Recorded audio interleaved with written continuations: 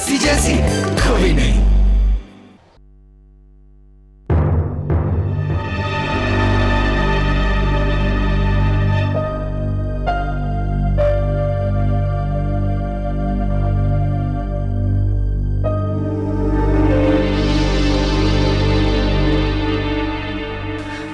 जस्सी तेरी तबीयत ठीक है? हाँ तेरा चेहरा इतना उतरा हुआ क्यों नज़र आता है? मैं ऐसा उतरा हुआ चेहरा लेकर ही पैदा हुई थी। कोई दूसरा चेहरा नहीं है मेरे पास। ये हमारी जसी है? या उसकी कोई हमशक्ल?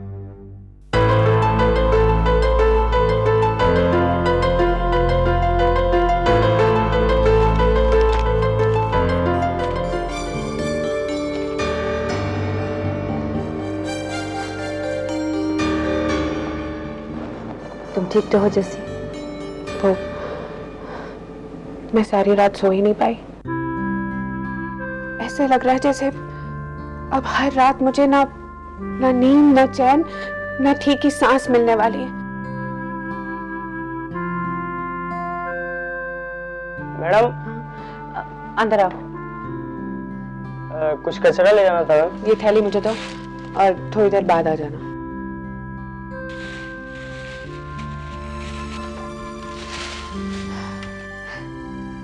मुझे तो ये सब कचरा नहीं नज़र आता जैसी ये गिफ्ट्स ये कार्ड्स ये प्यारे से तोहफे, ये सब फेंकने की नहीं, याद रखने की चीज़ें हैं। इसमें कोई याद रखने वाली चीज़ नहीं है।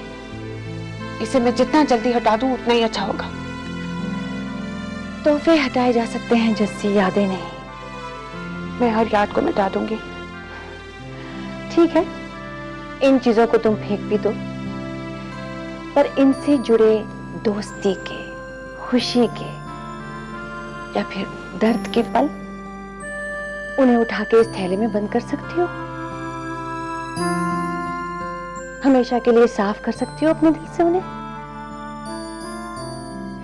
और इससे भी ज़रूरी सवाल यह है, जस्सी, कि क्या तुम सच में सच में इन सब चीज़ों को गवाना चाहती हो? क्योंकि एक बार ये चले गए तो फिर कभी नहीं मिलने वाले।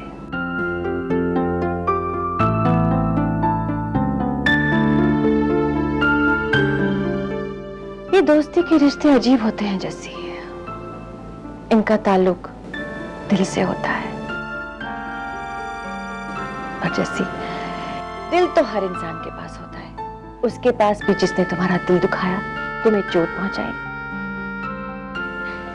इससे पहले कि तुम सब कुछ खत्म कर दो, उसे भी तो एक मौका मिलना चाहिए अपनी बात कहने का, तुम्हारे दिल की बात जानने का। पता नहीं वो जानता भी है कि नहीं। उसे तो कोई फ़र्क ही नहीं पड़ता कि मैं क्या सोचती हूँ या क्या महसूस करती हूँ। उसके लिए तो मैं जीती जागती जस्सी नहीं, बल्कि इन इन खिलौनों की तरह एक चीज़ हूँ। जिसे बस चाबी लगाकर अपना काम निकलवाया जाता है। और तमाशा खत्म हो जाने के बाद किनारे पर कर दिया जाता है। जैसी गुड मॉर्निंग जैसी।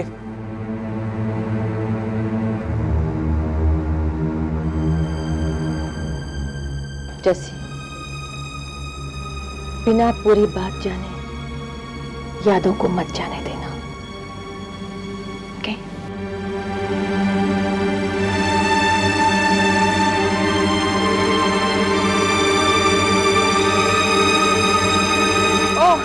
अरमान ओ हाय नंदिनी।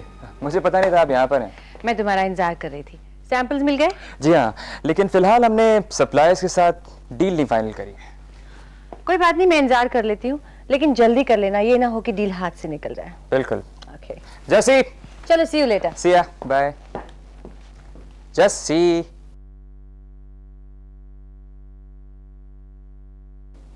जैसी मुझे फटाफट ये बताओ कि हमारे अपॉइंटमेंट्स क्या हैं। नए क्लाइंट्स आने वाले हैं। गुलमोहर में मीटिंग है। वेरी गुड और कितने बजे?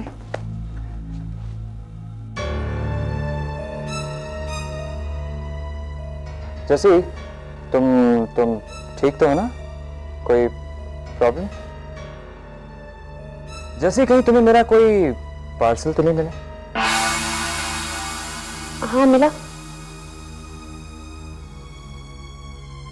और उस बैग में कुछ कार्ड्स कुछ गिफ्ट्स और वो लेटर हाँ। हाँ सर उस बैग में उस बैग में वही सब चीज़ें थी। जैसे तुम इतनी आसानी से बेवकूफ़ बन जाओगी मुझे पता ही नहीं था। बेवकूफ़? देखो मुझे अच्छी तरीके से पता था कि तुम मेरे सारे पार्सल चेक करके देती हो।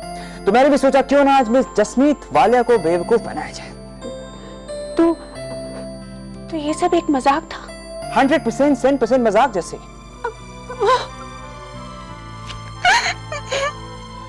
जसीब जसीब ए, एक मिनट एक मिनट तुम यहाँ बैठो ना। बैठो आराम से बैठो। Please Jassi I am I am really sorry ये सब सब तो सिर्फ़ एक मज़ाक था तुम आप नहीं जानते सर। इस मज़ाक ने मेरी पूरी जान ही ले ली थी। मुझे बिल्कुल नहीं पता था तुम इतनी आसानी से फंस जाओगी। आई मीन तुम जस्सी तो जीनियस जो मैं भी तो नहीं जानती थी ना कि मैं इतनी आसानी से टूट जाऊँगी। मेरा मकसद तुम्हें परेशान करना बिल्कुल नहीं था। बल्कि मैं तो बस यूँ ही थोड़ा मुझे पहले से ही समझ लेना चाहिए था कि आप ऐसा कर ही नहीं सकते हो। ये ये मज़ाक ही हो सकता है? तो अब तो तुम ठीक हो ना? ठीक? जो मुझे ऐसा लग रहा है। मेरी साँसें जो गुम हो गई थी वो लौट आई है। जसी जसी हाँ? हाँ? कहाँ खो गई मीटिंग कितने बजे की है मैं मैं अभी चेक चेक कर लेती हूँ हाँ?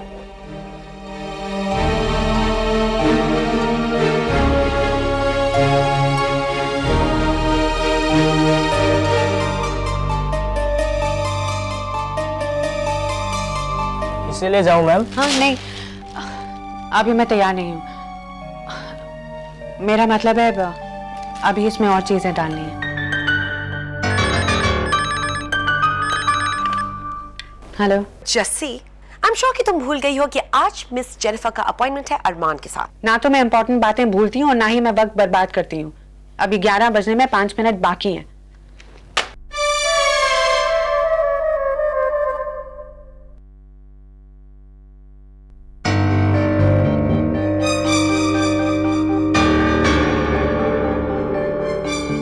मिस जेनिफर आपसे मिलने आई हूँ मीटिंग के लिए। तुम एक काम करो उन्हें बोर्ड रूम में बैठो मैं आता हूँ ओके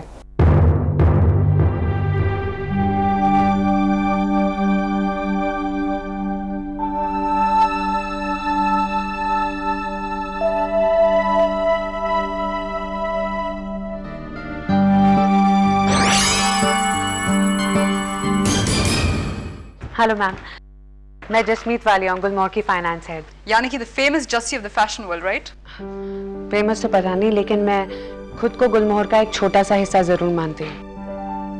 हाय और मैं हूँ परी। फ़ैशन इंडस्ट्री का हिस्सा भी और किस्सा भी। थैंक यू परी। तो मैंने कॉन्फ्रेंस रूम में लेके जाओ मैं अपनी फाइल्स लेके आती हूँ। I see you please come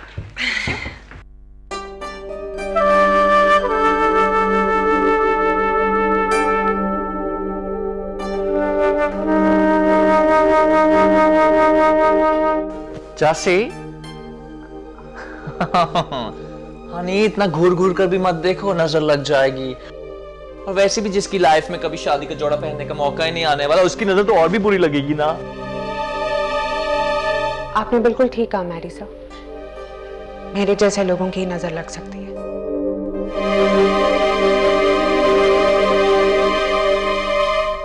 ए जसी तुम मीटिंग में सप्लाईज की लिस्ट भी ले आना।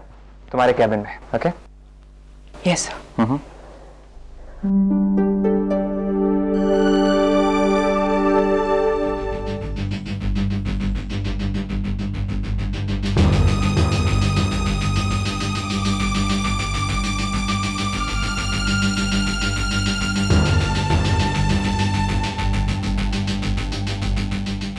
एक छोटा मगर एक खास तोहफा। एक बहुत ही खास दोस्त के लिए। तुम्हारे लिए जैसी। सिर्फ़ तुम्हारे लिए। तो ये कुछ कार्ड हैं जो मैंने तेरे लिए तैयार करके रखे हैं। तो टाइम टाइम पर उसे देते रहना।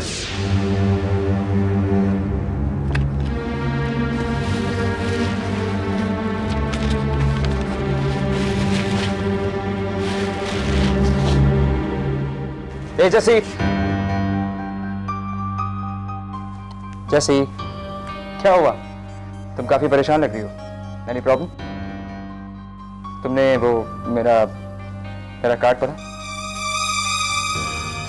जी पढ़ा। ओह। फिर लगता है तुम्हें पसंद नहीं आया है ना? अच्छा था। अरे अच्छा नहीं जैसे तुम इससे भी ज़्यादा अच्छे के हकदार हो।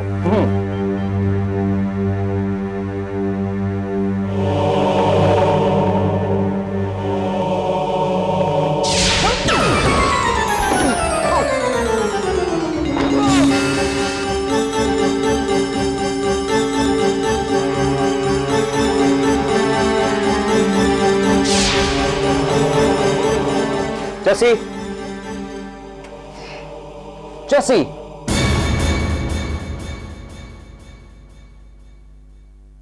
चले हाँ आप चलिए मैं आती हूँ। श्योर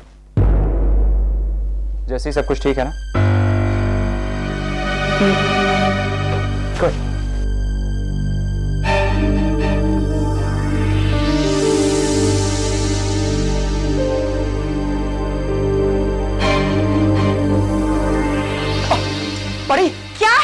ऐसे क्यों चिल्ला रहे हो जैसे तुम्हारी जान निकल रही है? अरे जान मेरी नहीं जान तुम्हारी जा रही है। मेरी जान क्यों जाएगी? वो तुमने महीनों से कार की इंस्टॉलमेंट नहीं भरी ना तो वो तुम्हारी कार लेने आए हैं। लेकर जा रहे हैं जाओ बचा लो।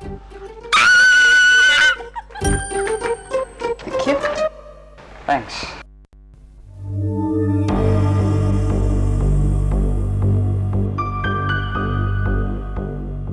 करो जैसे।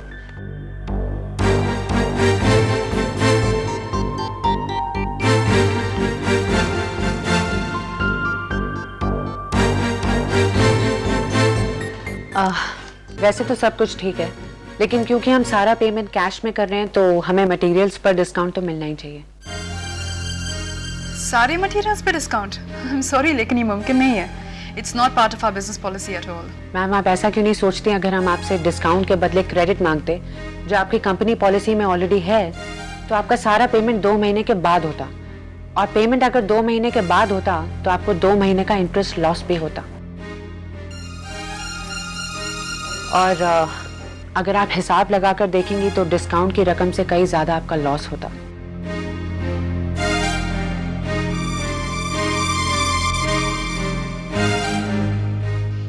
ओके देन अगर ये बात है तो मैं तैयार हूँ। इट्स डील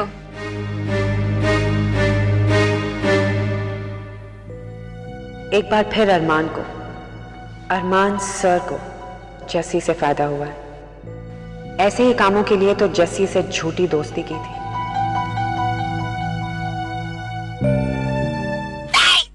प्लीज़ इंस्पेक्टर साहब देखिए। मैं आऊँगी। कम डाउन आइए नीचे।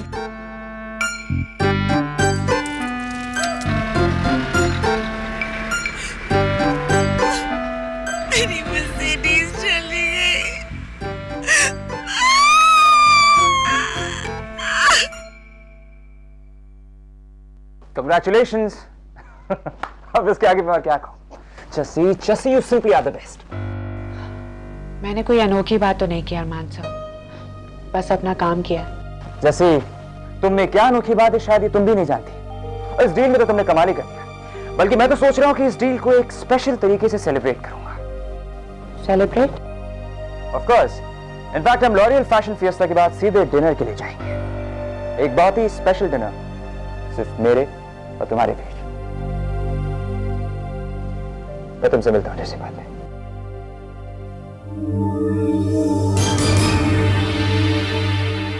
फ़ैशन फिएस्टा के बाद शानदार डिनर पे लेके जाना और वही कोई अच्छा सा गिफ्ट भी दे देना उसको। अरे कुछ भी सेंडीज कह देना यार खुश हो जाएगी।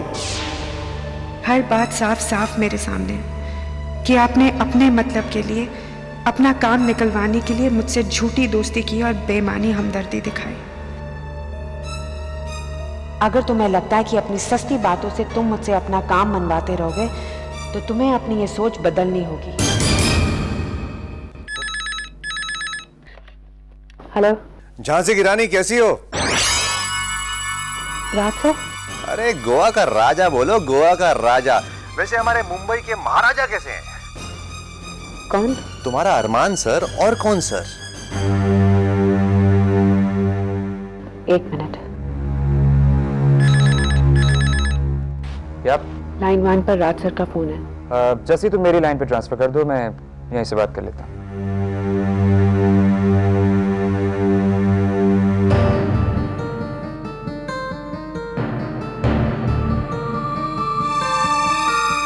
अरमान कैसे चल रहा है भाई? सब कुछ बिल्कुल ठीक चल रहा है राज। मैं मैं रात को लॉरियल फ़ैशन फिएस्टा में जा रहा हूँ और मेरे साथ जस्सी भी जाएगी वेरी गुड वेरी गुड उसके बाद हम लोग डिनर पे जा रहे हैं। क्या बात है? लेकिन मेरे घर को रेस्टोरेंट नहीं बनाना प्लीज़ यार वॉचमैन से लेकर नेबर्स तक ये सोचते होंगे तो कौन सी एलियन को वहाँ पे लेकर आता है यार? चुप रह राज। तुझे पता है ना कि जस्सी ने वहाँ पे हाँ हाँ हाँ मुझे मालूम है। उसे तुझे वहाँ पे अपनी कहानी बताई थी कैसे उसके बॉयफ्रेंड ने उसको छोड़ा था। अरमान सर ने समीर की बात भी राज सर को बता दी। सर आपसे एक रिक्वेस्ट है। ये बात आप प्लीज़ किसी को मत बताना। राज सर को भी नहीं। ये भी कोई कहने की बात है? तो बिल्कुल फ़िक्र मत करो। ये बात सिर्फ़ तुम्हारे और मेरे बीच रहे। मेरी किसी भी बात की इज़्ज़त नहीं रखी। किसी एहसास की कद्र नहीं की। कुछ भी नहीं। कुछ भी नहीं। जस्सी जस्सी जल्दी चल। बिंदिया का रो रो के बुरा हाल हो रहा है। बिंदिया का? हाँ हाँ जल्दी चल। हाँ। मेरे तो सिर्फ़ पति का हाथ छूटा था। अब तो सर से छत भी हटने वाली है। किस मिट्टी का बना है वो आदमी रूबी बहू मेरे छोड़ो बच्चों का ख्याल भी नहीं रखा। बिंदिया क्या हुआ? देख देख प्लीज़ ऐसे रो मत ऐसे रोने से कुछ नहीं होगा। अब तो कुछ भी करने से कुछ नहीं होगा। बिंदिया प्लीज़ सारी मर्द जाति ऐसी होती है धोखेबाज। दिल की जगह लगता है पत्थर है पत्थर। आप ठीक कह रही हैं रूबी माँ पर हम लड़कियों का दिल इतना नरम होता है हम करें भी तो क्या? हम भी जवाब दे सकते हैं ईंट का पत्थर से। तुझे अगर अपने इस धोखेबाज पति को सबक सिखाना है ना बिंदिया तो रोने से कुछ नहीं होगा। हंस हंस के उसे जला। बल्कि मैं तो कहती हूँ, तू भी एक बॉयफ्रेंड ढूंढ ले, जिसे देखते ही तेरे उस पति की सारी होशियारी निकल जाएगी। बिल्कुल सुन तो। अगर उसे उसकी नींद से जगाना है ना तो उसे जला। समझी? कोई भी मर्द ये बर्दाश्त नहीं कर सकता कि उससे प्यार करने वाली किसी और को भी चाहती है। खुश है। बिल्कुल। बिंदिया तुझे उसका घमंड तोड़ना होगा। तुझे ये जताना होगा कि उससे भी ज़्यादा ज़रूरी आदमी तेरे ज़िंदगी में है। और सुन ले, एक बार उसका घमंड टूट गया ना तो समझ ले वो खुद टूट गया। तू भी एक बॉयफ्रेंड ढूंढ ले। हंस हंस के उसे जला एक बार उसका घमंड टूट गया ना तो समझ ले वो खुद टूट गया।